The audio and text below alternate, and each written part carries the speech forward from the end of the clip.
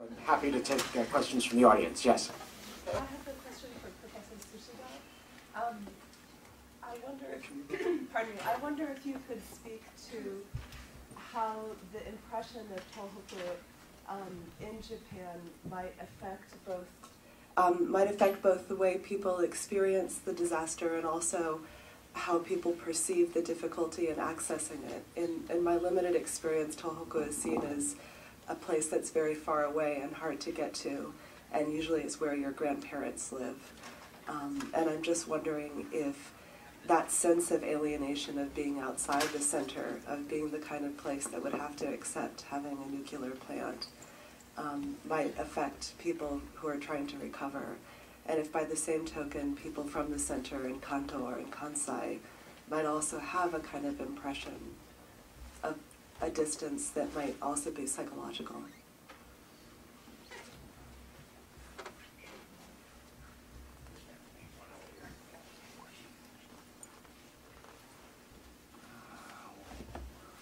Well, it, it's, I think it's hard to answer the question because the, I repeatedly say the, it's ongoing, but the culture is different. It's, it's true. The, the Tohoku people, they are the very much, a, how to say this,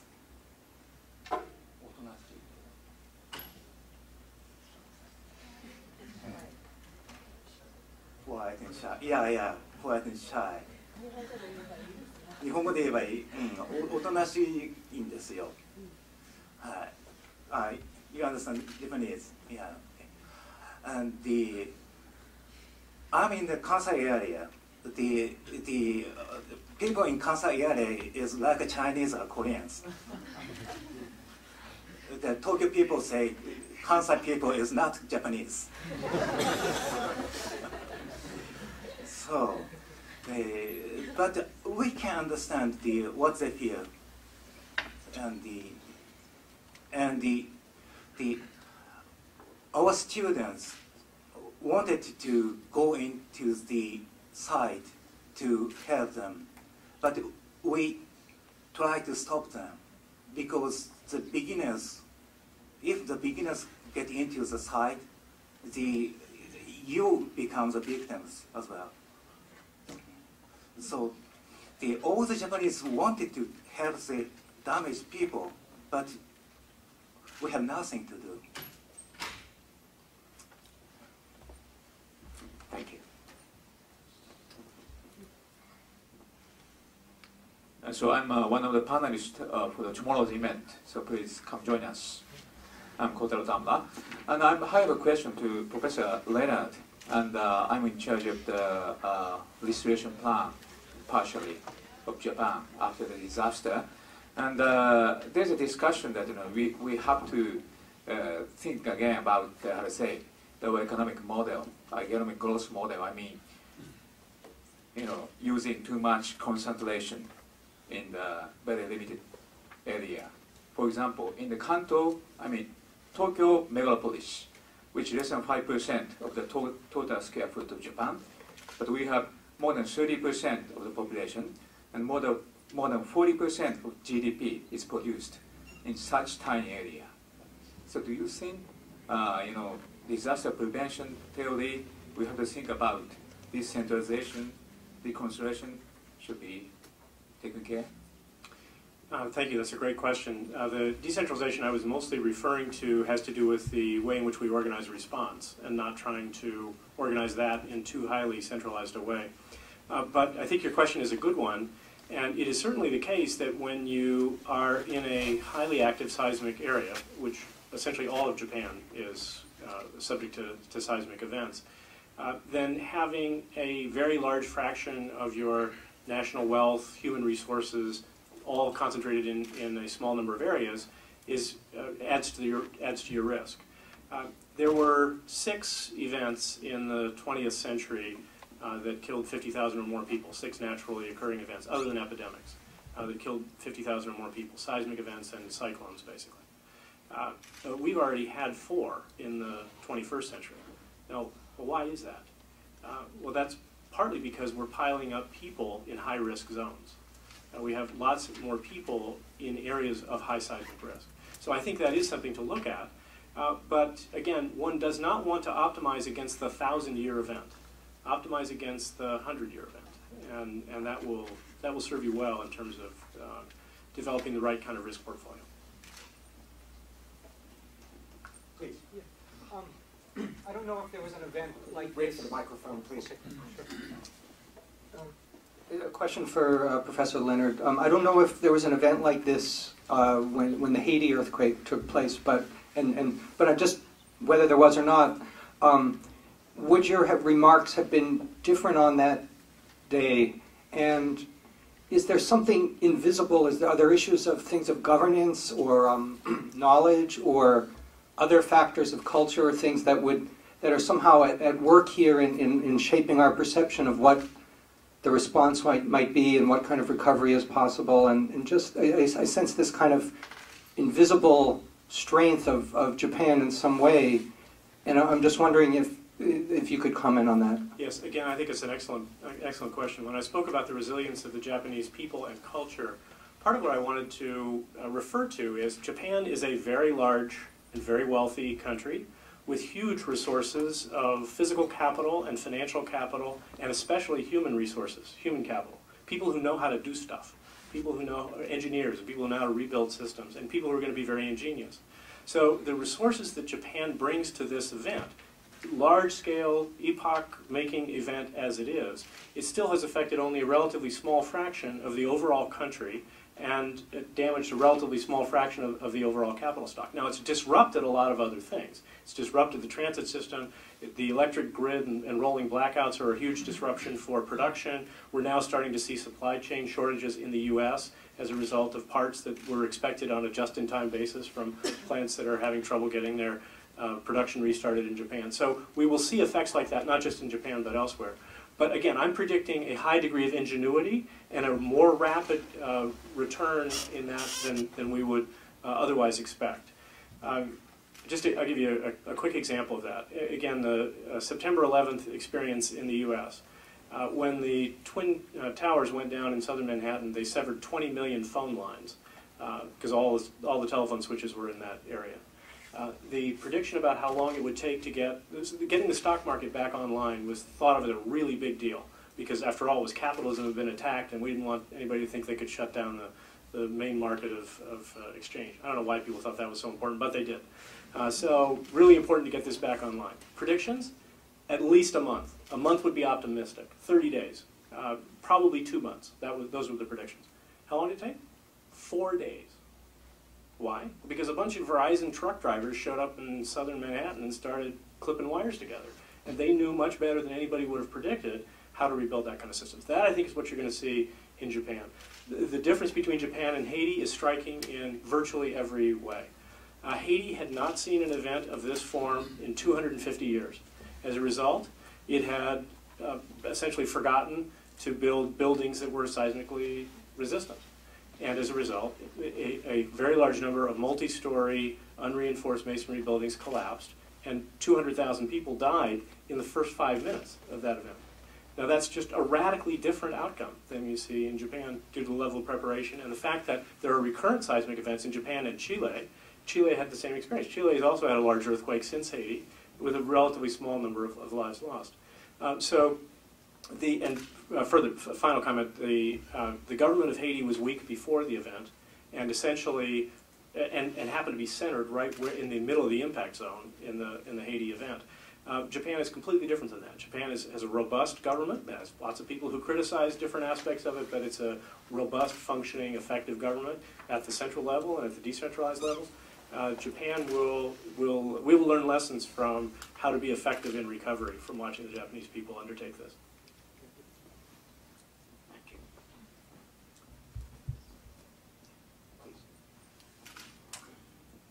Uh, I'd like to ask uh, Professor Golay a question about the uh, technology by which nuclear plants are constructed. Uh, I gather that some questions have been raised about the particular kind of technology that was used to develop the plants in Japan and Yankee Nuclear and um, Pilgrim and so forth. Is there going to be serious rethinking about, because I understand there are alternative methods by which um, future nuclear plants could be constructed. Right. I'm, I alluded to um, uh, the one plant uh, that's now being completed in Japan, which would not have been nearly so vulnerable to this earthquake.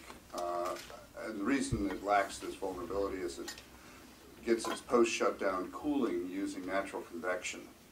After the Three Mile Island accident, uh, there was about a decade of consideration of accident-proof reactor concepts. And uh, they ultimately went nowhere in the marketplace until the last five years. But they primarily tried to make use of uh, passive uh, phenomena such as uh, gravity to drive cooling or thermal radiation as opposed to active systems as they're called, using human actions, using uh, fuels, using moving parts, uh, as with the electric system. a, sec a second uh, plant of the type I alluded to is also under construction in China, and two more are in the pipeline as I understand it. Uh, this accident will doubtless uh, be a spur to uh, technology in that category, uh, and the, the particular design being pursued in China is not the only candidate. Um, right now, we don't require use of passive safety features, and as I said in my remarks, we can expect that consideration of such requirements uh, may come up. Um, uh, the downside to them is that they tend to be less flexible, less capable, but if done right, more reliable. And so there's, there's a trade-off there. Um, most of the nuclear technology on offer today commercially still relies very heavily on active safety features, sometimes with very high levels of redundancy though.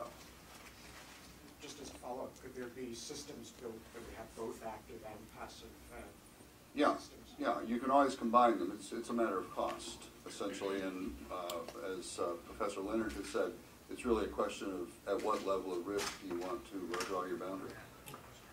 Other questions?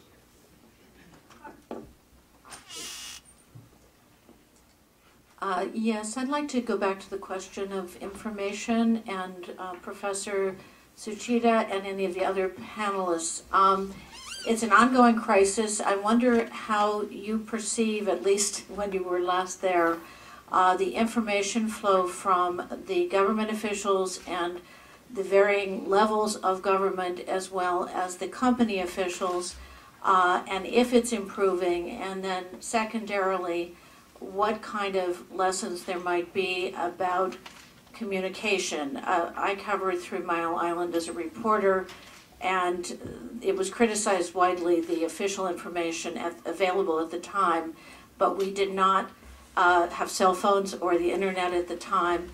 I've been following this on Ustream, the Japanese television, and so I'm wondering, um, both within Japan and without, uh, the information that's being received, if you see it's improving, and how we might improve or learn from this both uh, within Japan and, and in the rest of the, of the world?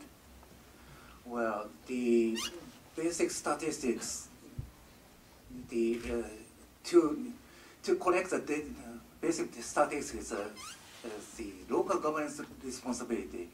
Local government and local policemen gather information, and they send the, the information to the central government. And in this case, local government wiped out. There's no one who has responsibility to collect statistics. That is the main problem in this crisis. But what about the company as well and, and the information that was being given out? And, and there, I think there's been reports of anger within Japan as well about, as you said in your presentation, the leaders are not always respected. I'm just wondering what the feeling is uh, about that right now. Well, well, the we have many big companies in Japan, but it's located in uh, the located in the Tohoku areas. we have no big companies except Tohoku Electronics company. And, the, so major company has no antennas or branch offices there. So the company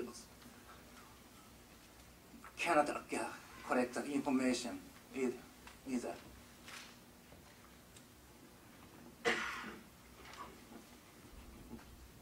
I, I, I want to go back to one remark I made, which is that uh, we, sh- we, sh- in evaluating the flow of information, we should really be sensitive to what the people involved at the site probably don't know. And if I'm correct, then a, a cautious person would be fairly reticent uh, about making statements. And my own belief is that they're only now beginning to get a good idea of what the real situation is. That doesn't mean that they couldn't have been less economical with, with the truth, but I, I don't see, um, I, I've dealt with Japanese organizations in the nuclear enterprise for about 25 years. And so from that, you get some idea of what they're like. And um, I, I think uh, simply lack of knowledge could explain a lot of what has gone on in the information flow. Um, the second thing I want to say is that I, I have been kind of surprised and puzzled about um, the evident anger concerning Tokyo Electric Power Company. Now, full disclosure, I've taken money from Tokyo Electric Power Company.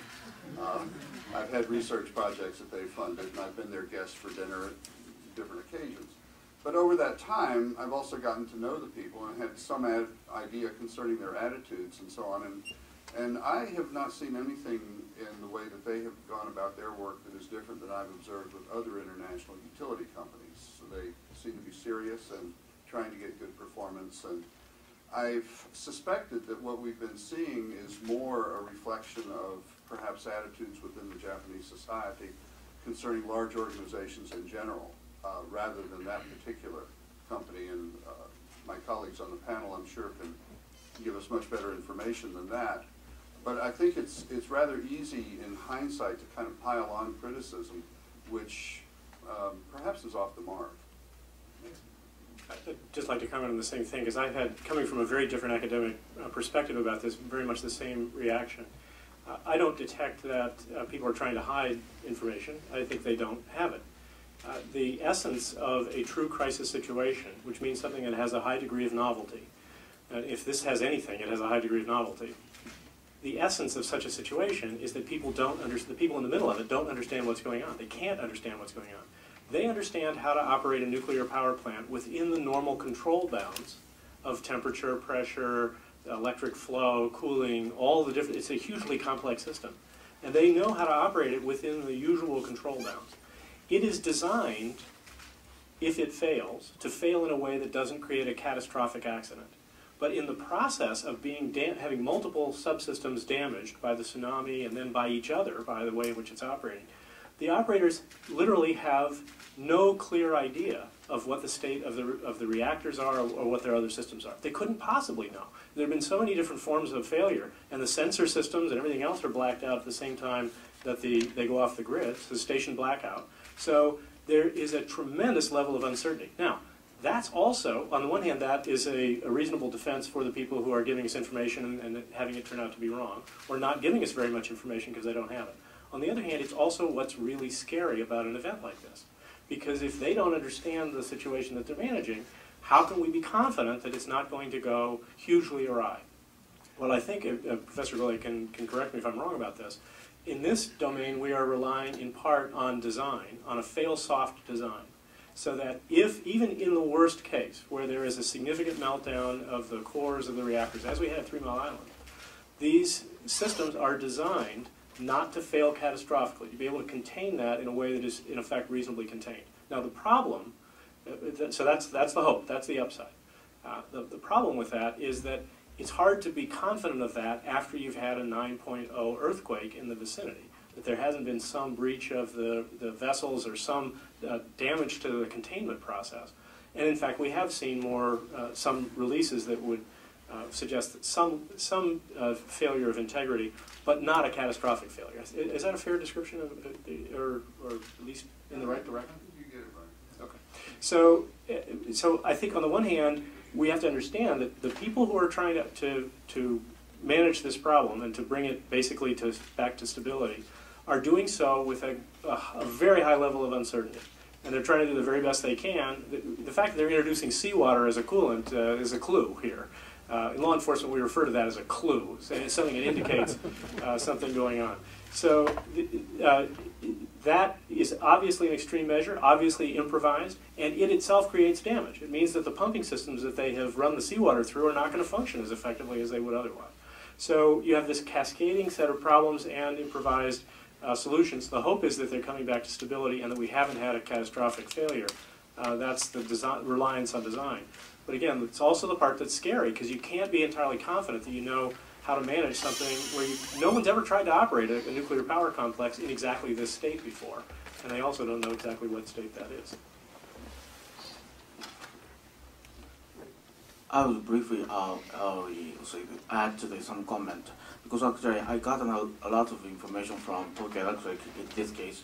Uh, as professor said, uh, the, uh, the uh, typical guy said that uh, the actually as far as the Fukushima 2, the uh, number 2, Daini, actually because the uh, damage is so serious, not so serious, so that they have the luxury to send information to headquarters.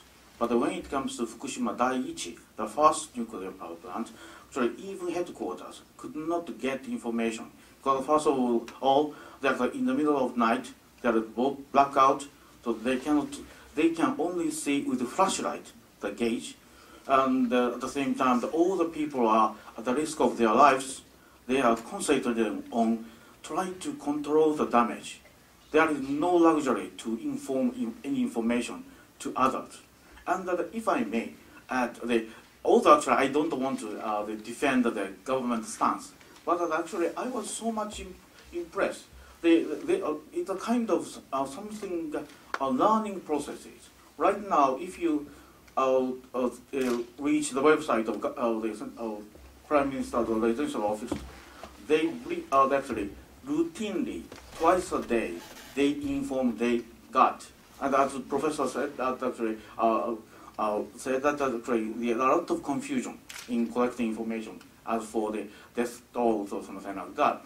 So that they collect, they put conflicting information. This is what got from the police agency, this is what got from fire department. So that actually right now, actually they have been, uh, however, in, uh, if not perfect, they made a lot of progress. I think. Thank you. I can't resist, even as a neutral moderator, adding my two cents, um, because I think the issue that was raised in the question is a really important one about conveyance of information. And I think it's worthwhile to focus on the dilemma faced both by the senior leaders of TEPCO and also by the senior leaders of Japan. There is enormous, there are enormous problems in knowing what's going on uh, and there is a temptation to go in one of two directions if you're in a position like that under conditions of, of rampant uncertainty. One of them is to mouth pieties and platitudes about safety and the good design of the system and to reassure people in fear that they will panic or that there will be reactions that are, that are quite negative. And on the other hand, there is sometimes a temptation to be extremely cautious, not to say anything that uh, you can't back up, uh, and, and to release very little information. Um, I don't know what's happening in Japan exactly because I don't understand Japanese and haven't seen the news media coverage, so I'm speaking more in generalities than from deep knowledge of what happened in this instance. Um, but I think that the confounding difficulty of these kinds of situations in today's world is that officials have to weigh their reaction in this regard, either to be um, boundlessly optimistic or to be very reticent to express their opinions against the fact that there is enormous 24 by 7 media coverage, not just by traditional newspapers and radio stations and TV stations, but also um, by a proliferation of cable uh, access, uh, blogs, uh, and now increasingly social media, the ability uh, to film these events and to show things uh, that may be in the cameras or the, of of individual citizens, but maybe beyond the ken of the people at, this, at the central level. And so the, uh, in order to maintain public uh, confidence and legitimacy as leaders, there's a huge challenge to figure out how to respond to the, the uncertainty at the same time that there's lots of noise, much of it incorrect, much of it being spoken by experts uh, and pseudo-experts about this. And I think what the lesson of this is the importance of being prepared. Uh, One form of preparedness for emergencies is public affairs preparedness, to have skilled people, to have the capacity to transmit information with graphics, uh, to be able to have people who can turn technical uh, situations into, uh, I was going to say common English, common Japanese, uh, and to, uh, in general, be able to communicate effectively with the public and to be upfront about what's known and what is not known. And because that, in some ways, is the greatest reassurance to the public to tell them the truth and to acknowledge the places where information is uncertain. Other uh, questions? please? Yeah. It builds on what you had just said. Um, one of the, it's an anecdote, but uh, still striking. And this is the third, for me, the third of these big nuclear crises. And the thing that I've noticed is that among the media, at least that I pay attention to, the amount of hysteria and misinformation is much lower than we saw with Three Mile Island and Chernobyl. Um, uh, having said that, I'll also say I'm avoiding the more sensational part of the media and the blogosphere. And yesterday I did come across a deliberate attempt to deceive, uh, where there was a radiation isopleth put out, disguised to look as if it came from the NRC, and it was clearly telling lies. So it's not unalloyed, but from what I've seen, this, this one actually seems to be handled in a, in a more facts-oriented and accurate way, for what it's worth. Part of the reason this might be better than Three Mile Island was that the movie The China Syndrome came out literally two weeks before the Three Mile Island meltdown. Uh, but I, I wanted to pick up on the same point. I think one of the lessons for us also, people who are interested in public policy, is a lesson about the precision of language. I think one of the reasons that it's been confusing is that people have conflated, and this may also be partly a problem of translation, people have conflated meanings of different words. So the word meltdown has been used from everything from a minor uh, extra excess heat event inside a single uh, fuel rod that has caused damage to that rod, which is actually a meltdown. It's a meltdown of a fuel rod. Uh, it's been ranged from that, which is a minor event which will damage the reactor and maybe make it unusable and maybe cause an economic loss, but it is, creates no real danger to anyone. Uh, and, and that same term has been used to apply to something which is a breach of two levels of containment and a massive release of high-level radio radioactivity into the atmosphere, which we have not seen, but which people have been saying, you know, meltdown has occurred and that could lead to. And I suppose it's technically true that it could lead to, but it's a long chain from one of those to the other. And so the, the imprecision in the way the language is being used is a real harm to us because you know, many of us have been trying to figure out what's been happening inside and trying to get more precise information. I'm sure you've had that experience, Professor Golay. And, and uh, the, the way in which it's being described, partly it's being described by people who don't fully understand the mechanics, let alone what the event is. Uh, so uh, not too surprising that what that implies is we are operating in a level, at a level of very high uncertainty, which is part of the problem of dealing with, with large-scale events like this. Uh, I count seven comments from the front of the room uh, in answer to one question, so it's only fair to go back to the uh, audience, please. Actually, I would like to go back to the uh, follow-up uh, one point. Uh, Prime Minister Kan got really irritated by the information lag from TEPCO, to, uh, which was sent to the government. So on March 15th, which was uh, four, like, four days after the, uh, the earthquake, TEPCO and the government created a unite um, headquarter to, to uh, be res uh, responsive uh, to the responsible for the for this event, and that actually helped Japanese citizens to calm down and to and to uh, think, act uh, in order. And uh, yesterday, Japanese government also announced some of the government officials are pl planning to create a unite effort agency of uh, disaster relief and rec reconstruction. So uh, more information will be centralized and uh, they will work effectively with the uh, more decentralized organizations, organizations as well. Thank you. Other questions?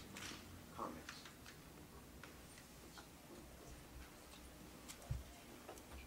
So in the United States, especially in the post-September 11th era, we have a really, I mean, maybe this is arguable, but a fairly effective federal emergency management system and you know, there's centralized power and then fusion centers at the state level, and a, a good network of information. Does something like this exist in Japan prior to this uh, incident? Do you have a, a, a FEMA, Federal Emergency Management Agency? Basically, yeah, uh, basically, actually, after the tragic earthquake of Kobe, uh, they draw up their so-called uh, the emergency system and dispatch system. At the same time, actually, although I don't, actually, I don't, free, I want to fully protect the government level, but uh, this time, actually, huge dispatch of uh, the self-defense forces, 10,000 people were swiftly dispatched to the uh, disaster areas. So at the same time, actually, uh, government issued uh, the, some uh, uh, directions to uh, some sort of a coordinated uh, the uh, uh, troops, uh, so that the uh, we have the not completely comparable FEMA, but uh, we have uh, some sort of the equivalent one.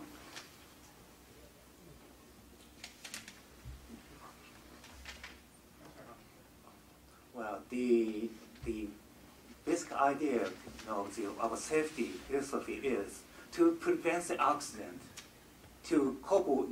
We we are not good at coping with the crisis, but we are good at preventing the crisis occurring. Then the the reason the confusion is very simple for us Japanese. The reason is earthquakes, tsunami was bigger than we expected.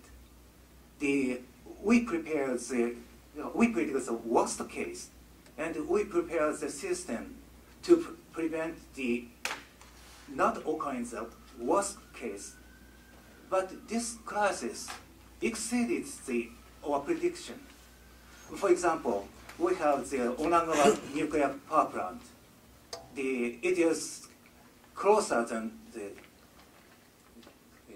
earthquake point, but it was safe because it was located on the hill. It, it was elevated 15 meters high, and tsunami didn't attack. For in Three Mile Island, there was no tsunami. And the, our engineer didn't expect nuclear power plant was attacked by tsunami, but it did. So they got into confusion. That's all. Thank you. There's a question over here.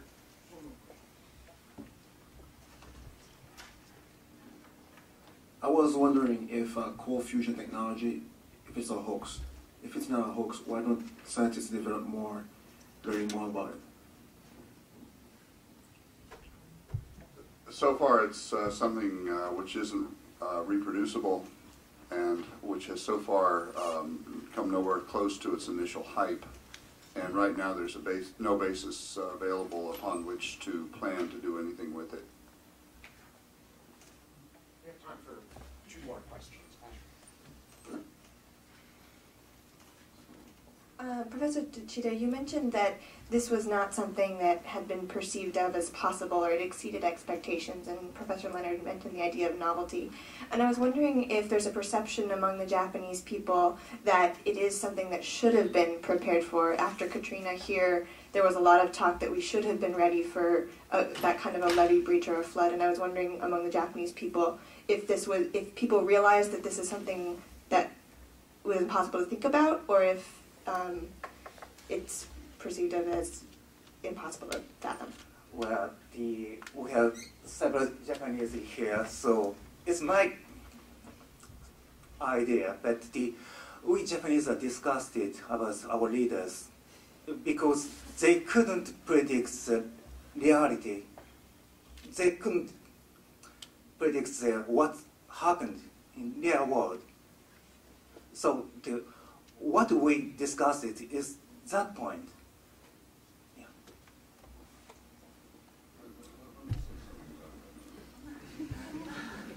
It's, uh, it's important to note that there was protection provided against loss of offsite power uh, and the um earthquake shaking and the tsunami. It simply wasn't enough. It wasn't as if those things had not been recognized, but simply the degree was much um, stronger, as Professor Leonard, I think, described it very accurately. Um, so. So I would say the same thing about the BP oil spill. Uh, one of the things that a lot of people have concluded coming out of the BP oil spill was that the U.S. was obviously underprepared for a massive oil spill. We just didn't have enough oil boom to surround the oil. Now, there's several things wrong with that argument. The first of which is that oil boom doesn't help you to fix all oil spills. But, the, but to me, the bigger systematic error is this. There has to be a threshold, which if the event exceeds it, you are going to be beyond the capabilities that you arranged. You cannot have a warehouse full of an infinite amount of oil boom. You cannot have a tsunami wall that is infinitely high. So there's always a chance that whatever height you set it at, it's going to get breached. So you also have to have a way of trying to cope. And our uh, research suggests that the way to do that is by a decentralized system that helps to support resilience. And I think we're going to learn a lot in the next years watching the Japanese people demonstrate what resilience is all about and drawing on the assets, the human capital, the physical capital, uh, and their ingenuity. And I hope we'll learn lessons about how we can uh, improve resilience elsewhere as well, because that's an important part of our, of our asset, our toolkit, if you will, of dealing with really large-scale events. I have time for one more question.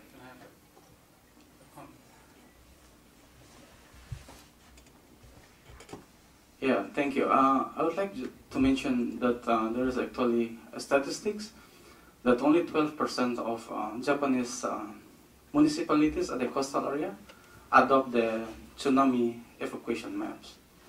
So actually, the tsunami preparedness is not so uh, not so well in, in comparison to the uh, building codes implementation. So the enforcement and this this and the second thing is I think uh, Professor Leonard also mentioned about the, the necessity to build the construction to protect the uh, coastal, but uh, if we read from the economists, there is actually a statement from an old man in the in the city close to Miyagi, and he says that we have been told that uh, all the tsunami walls can protect us, so they didn't want to evacuate. So you have an issue of the uh, all population here, but, but, you have also an issue of uh, the willingness to evacuate. Uh, and there was a survey in 2002. The willingness to evacuate in the areas like Miyagi was very low. Only 8% people says that they want to evacuate when the tsunami happened, while 85% says that they are, they are not willing to, and simply like 45% of this 85% uh, says that they don't want to evacuate at all. So you have lots of issues about the tsunami before, and I think that's all my comments.